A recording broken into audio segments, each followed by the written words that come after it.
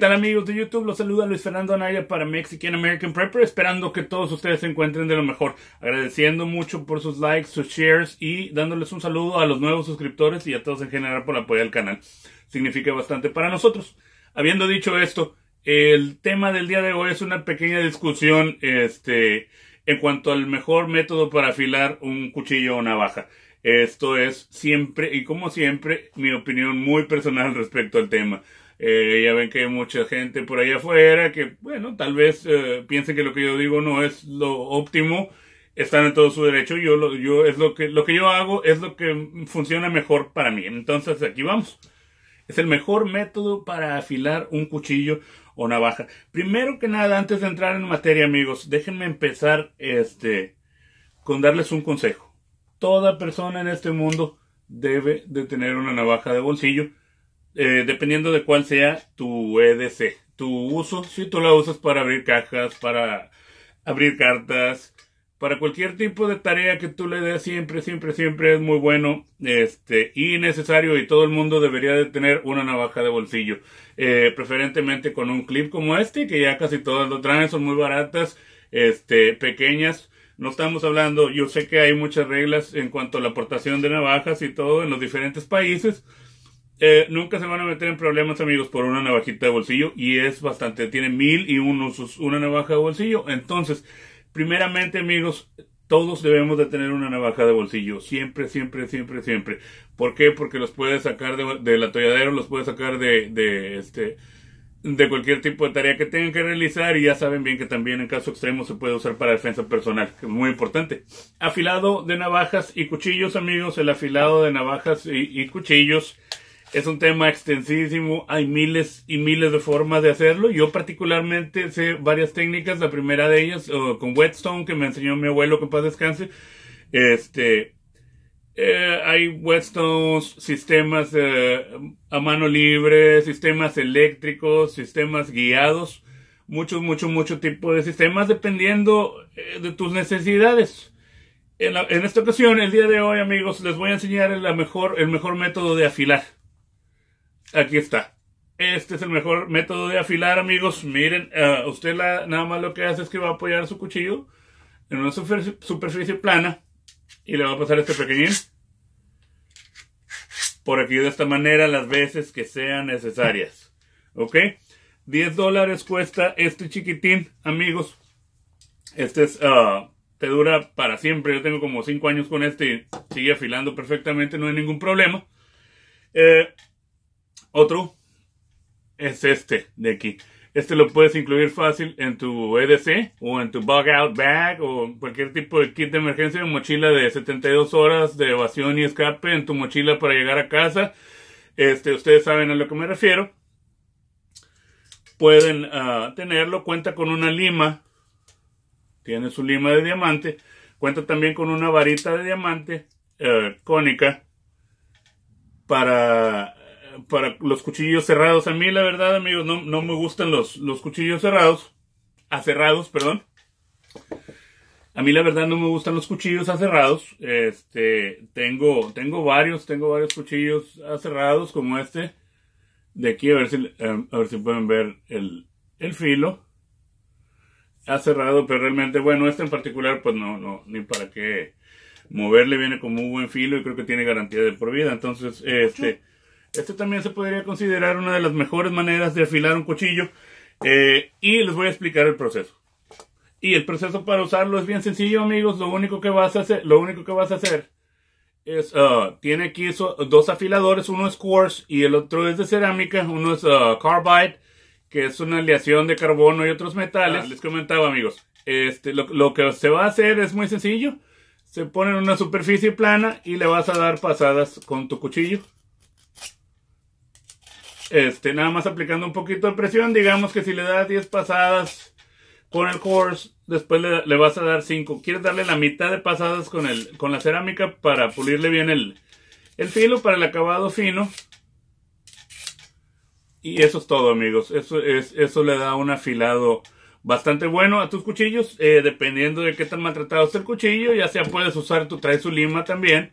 Por si tu cuchillo está este, muy lastimado y necesita otro tipo de, de arreglo o cualquier cosa. Este, también puedes usar las diferentes herramientas. Yo soy un enemigo de los uh, de los cuchillos aserrados, amigos. No me gustan. Yo tengo la mentalidad de que si uh, un filo parcialmente aserrado para mí es inútil. Yo prefiero utilizar una sierra en lugar de, utilizar un filo aserrado, pero eso es mi opinión muy personal, ¿verdad? Cada quien tiene, tiene gustos diferentes, así que mis filos uh, aserrados, la verdad no, este, sí, sí tengo varios, sí tengo varios, porque pues tengo muchos, muchos cuchillos, ¿verdad?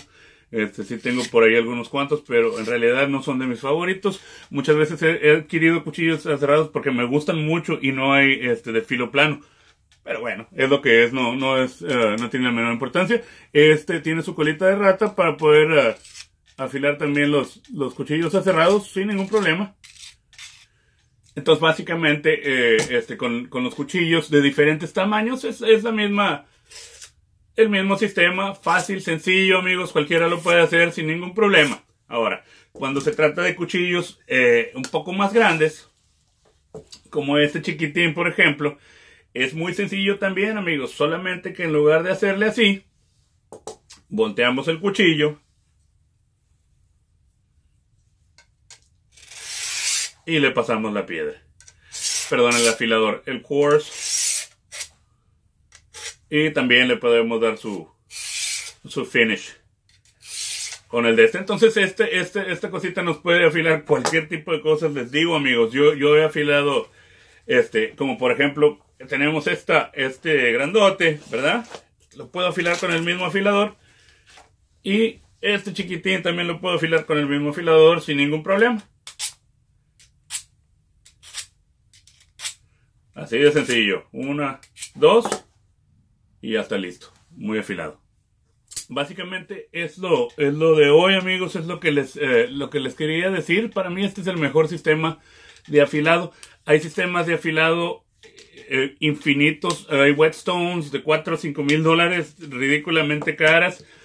Ahora, mis amigos allá afuera, cuchilleros, bueno, eso es, eso es totalmente válido, ¿verdad? Te van a decir, mira que esta es la mejor forma, que la fregada es muy válido. Si es para, si es tu hobby ser cuchillero, yo tengo varios amigos este, de la escena de cuchilleros en, en México y algunos aquí en Estados Unidos que le dan los filos brutales. Está el Wicked Edge, el uh, uh, Worksharp, el sistema Lansky también. Hay, hay, bastantes, bastantes, perdón, bastantes sistemas que en mi forma de ver eh, en lugar de adquirir un sistema de afilado de algunos 400 dólares, 500, 600 dólares, pues mejor me compro una carabina, ¿sí? Un rifle, una pistola, algo así, pero eso es solamente mi opinión, ¿verdad?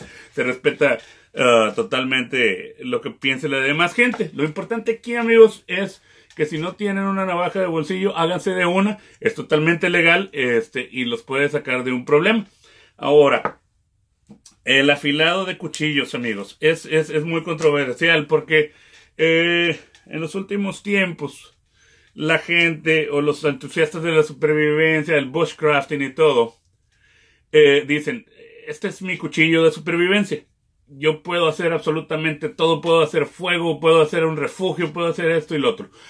Eh, en, tiempos históricos, amigos, el cuchillo que el cuchillo primario, le podemos decir el que portas en tu cinturón, era un cuchillo único y exclusivamente para carne, para cortar carne, ¿sí? Este, no era un cuchillo que se utilizara para tallar madera, para nada de esto. Hay una historia, eh, hay un libro, hay un libro que se llama Seed Time on the Cumberland. Es un, es un libro, es un libro de unos pioneros de un asentamiento en Cumberland. Entonces, este libro, uno de sus pasajes o una de sus uh, historias relata la, la historia de, de un pionero que se le rompió su rifle, su, el, la, culata de su rifle.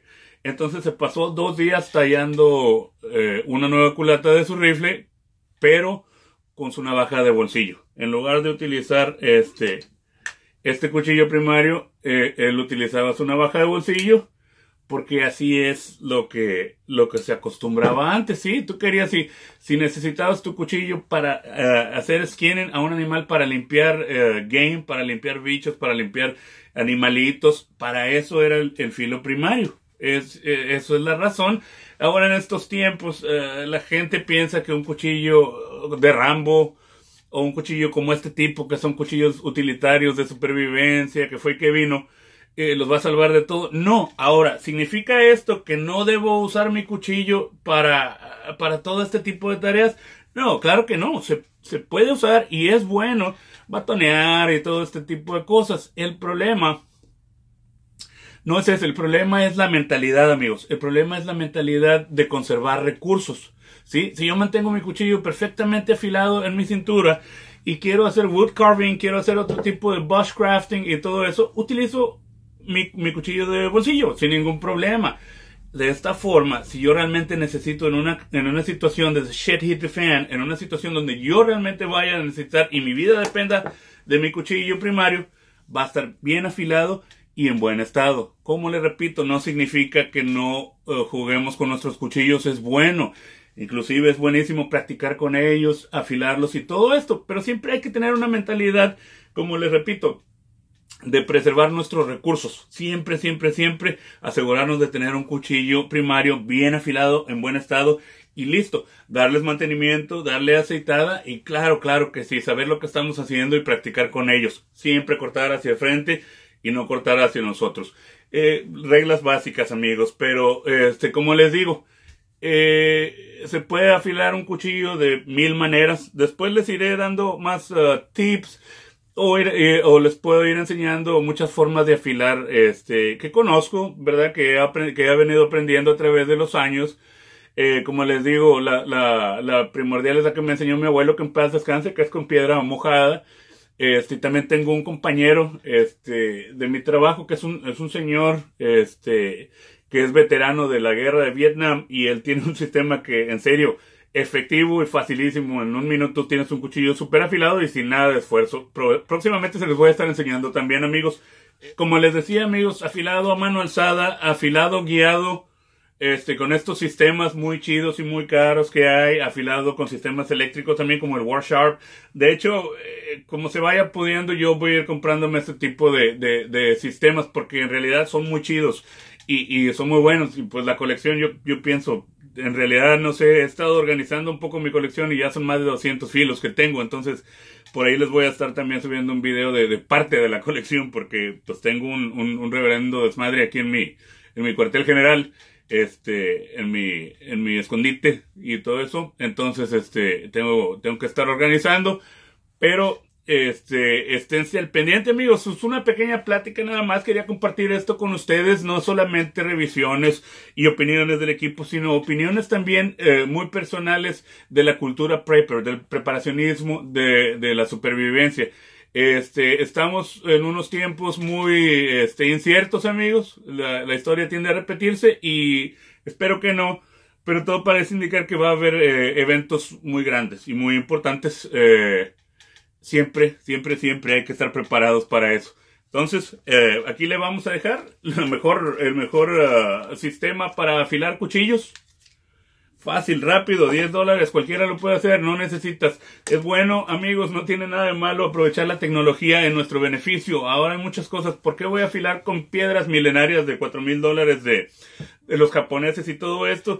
Si ahora esto se produce por 10 dólares en cantidades masivas. Entonces, hay que aprovechar. No es nada malo, este, la, la, la, tecnología primitiva de supervivencia. Por supuesto que no, es muy bueno y también vamos a hacer videos de eso pero ¿por qué no aprovechar lo que tenemos? Porque realmente eso es pensar inteligentemente. Siempre listos, amigos. Mi nombre es Luis Fernando Naya para Mexican American Prepper.